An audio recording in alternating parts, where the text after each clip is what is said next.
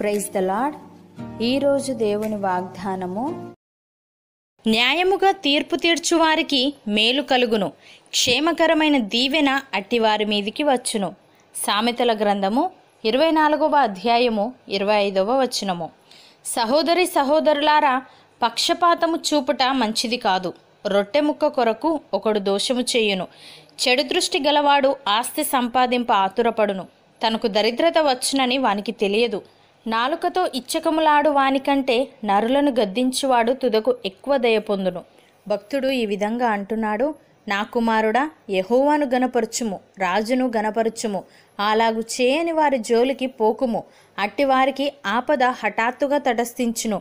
వారి కాలము ఎప్పుడు ముగియునో ఎవరికి తెలియను? ఇవియు జ్ఞానులు చెప్పిన సామెతలే. న్యాయము తీర్చుటలో పక్షపాతము చూపుట ధర్మము కాదు. నీ అందు దోషము లేదని దుష్టునితో చెప్పువానిని ప్రజలు శపించుదురు. జనులు అట్టి వాని అసహ్యపడుదురు అని. ప్రియులారా దేవుడు లేడని బుద్ధిహీనులు తమ హృదయములో అనుకొందురు. వారు చెడిపోయిన వారు. అసహ్య కార్యములు చేయుదురు. మేలు చేయువాడు ఒకడునూ లేడు. వివేకము కలిగి దేవుణ్ణి వెతుకువారు కలరేమో అని దేవుడు ఆకాశము నుండి చూచి నరులను పరిశీలించెను. వారందరూ దారి తొలగి బొత్తిగా చెడి ఉన్నారు ఒకడును తప్పకుండా అందరునూ చెడి ఉన్నారు మేలు చేయు వారెవరునూ లేరు. ఒక్కడైననూ లేడు. దేవునికి ప్రార్థన చేయక ఆహారము మింగునట్లుగా నా ప్రజలను మింగు పాపాత్ములకు తెలివిలేదా? భయకారణము లేని చోట వారు భయక్రాంతులైరి. నన్ను ముట్టడివేయు వారి ఎముకలను దేవుడు చెదరగొట్టి ఉన్నాడు దేవుడు వారిని ఉపేక్షించెను గనుక నీవు వారిని సిగ్గుపరిచితివి.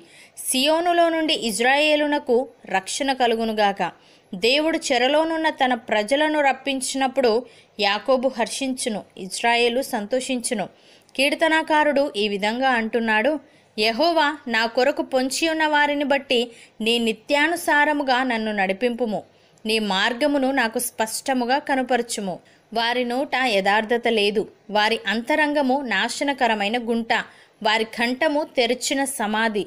వారు నాలుకతో ఇచ్చకములాడుదురు. దేవ వారు నీ మీద తిరగబడి ఉన్నారు. వారిని అపరాధులనుగా తీర్చుము. వారు తమ ఆలోచనలలో చిక్కుబడి కూలుదురుగాక. వారు చేసిన అనేక దోషములను బట్టి వారిని వెలివేయుము. నిన్ను ఆశ్రయించు వారందరూ సంతోషించుదురు. నీవే వారిని కాపాడుదువు. గనుక వారు నిత్యము ఆనందధ్వని చేయుదురు అని. ప్రిలారా మనము మంచి విషయంలో ఆసక్తి గలవారమైతే మనకు హాని చేయువాడెవడు?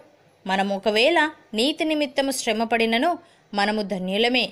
వారి బెదిరింపునకు భయపడకుడి కలవరపడకుడి. నిర్మలమైన మనస్సాక్షి కలిగిన వారై మీలో ఉన్న నిరీక్షణను గూర్చి మిమ్మును హేతువు అడుగు ప్రతి వానికిని సాత్వికముతోనూ భయముతోనూ సమాధానము చెప్పుటకు ఎల్లప్పుడూ సిద్ధముగా ఉండి మీ హృదయములయందు క్రీస్తును ప్రభువుగా ప్రతిష్ఠించుడి.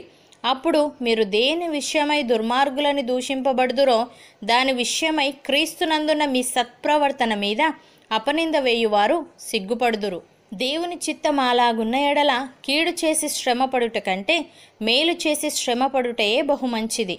అపోస్తలుడైన యాకోబు ఈ విధంగా అంటున్నాడు నా ప్రియ సహోదరులారా ఆలకించుడి. ఈ లోక విషయంలో దరిద్రులైన వారిని విశ్వాసమందు భాగ్యవంతులుగాను తన్ను ప్రేమించు వారికి తాను వాగ్దానము చేసిన రాజ్యమునకు వారసులుగాను ఉండుటకు దేవుడు ఏర్పరచుకొనలేదా? అయితే మీరు దరిద్రులను అవమానపరచుదురు. ధనవంతులు మీ మీద కఠినముగా అధికారము చూపుదురు. మిమ్మను న్యాయసభలకు ఈడ్చుచున్న వారు వీరే గదా? మీకు పెట్టబడిన శ్రేష్టమైన నామమును దూషించువారు వీరే గదా?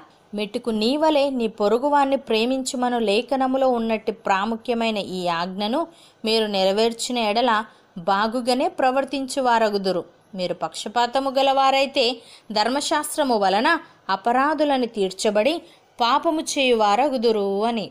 సహోదరి సహోదరులారా ప్రతి నోరు మూయబడినట్లును సర్వలోకము దేవుని శిక్షకు పాత్రమగునట్లును ధర్మశాస్త్రము చెప్పుచున్న వాటినన్నిటినీ ధర్మశాస్త్రమునకు లోనైన వారితో చెప్పుచున్నదని ఎరుగుదుము. ఏలే అనగా ధర్మశాస్త్ర సంబంధమైన క్రియల మూలముగా ఏ మనుష్యుడును ఆయన దృష్టికి నీతిమంతుడని తీర్చబడడు. ధర్మశాస్త్రము వలన పాపమనగా ఎట్టిదో తెలియబడుచున్నది. ఇట్లుండగా ధర్మశాస్త్రమునకు వేరుగా దేవుని నీతి బయలుపడుచున్నది. దానికి ధర్మశాస్త్రమును ప్రవక్తలను సాక్ష్యమిచ్చుచున్నారు. అది ఏసుక్రీస్తునందలి విశ్వాసమూలమైనదై నమ్మువారందరికీ కలుగు దేవుని నీతి అయి ఉన్నది. అవును అన్నవారు నాతో పాటు ప్రార్థనలో ఏకీభవించండి. పరిశుద్ధుడా ప్రేమగల తండ్రి న్యాయముగా తీర్పు తీర్చువారికి మేలు చేసే దేవుడవు నీవు గనుక నీకు స్తోత్రములు. తండ్రి మా కొరకు పొంచి ఉన్న వారిని బట్టి నీ నిత్యానుసారముగా మమ్మలను నడిపించమని నీ మార్గమును మాకు స్పష్టముగా కనపరచమని వేడుకుంటున్నాము. దేవా మేము నిర్మలమైన మనస్సాక్షి కలిగిన వారమై మాలో ఉన్న నిరీక్షణను గూర్చి మమ్మను హేతువు అడుగు ప్రతివానికిని సాత్వికముతోనూ భయముతోనూ సమాధానము చెప్పుటకు ఎల్లప్పుడూ మేము సిద్ధముగా ఉండి మా హృదయములయందు నిన్ను ప్రభువుగా ప్రతిష్ఠించుటకు సహాయము దయచేయమని నీ అందరి విశ్వాస మూలమున మేము నీతిమంతులముగా తీర్చబడి నీ రాజ్య వారసులమవుటకు కృపచూపమని యేసుక్రీస్తు నామమున ప్రార్థిస్తున్నాము తండ్రి. ఆమెన్.